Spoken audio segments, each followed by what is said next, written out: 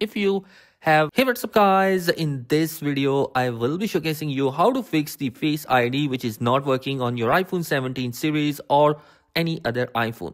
Now the first thing which you want to do is to ensure that your camera is working.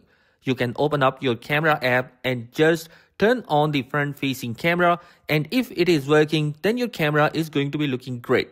But if it is going to be black then there is a concern and you should follow the second step after that, close the camera app and the next thing which you want to do is to go ahead and restart your phone by pressing the volume up, volume down and then holding on to the side button. So I'm going to be pressing the volume up, volume down and I'm going to be going ahead and holding on to the side button. Make sure you press the volume up followed by the volume down quickly and hold them on to the side button until the screen goes completely black and we see the Apple logo. So I'm going to wait until the Apple logo is going to be appearing on and that's basically shutting down the phone software and reloading the code. It's an important step to do.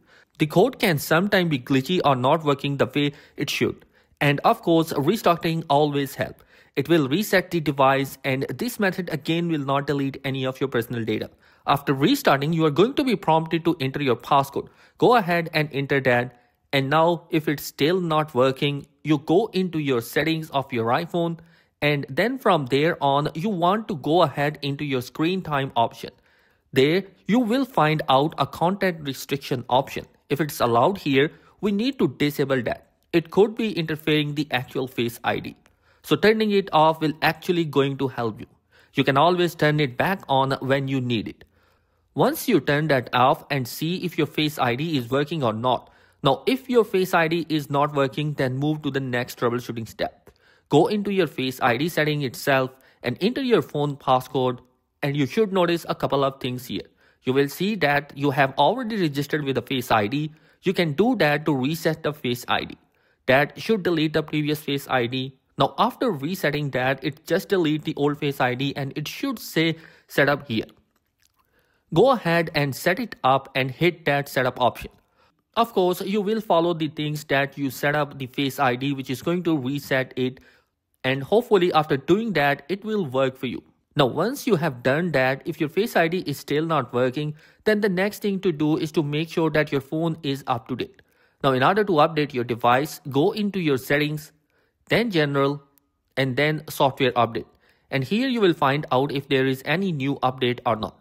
Right now there is an update available so you just need to update that because it will fix these issues. Hopefully after doing that, it will work for you. Other advices that I recommend is that if you recently put a screen protector, sometimes they can get in the way. So make sure the screen protector isn't getting in the way.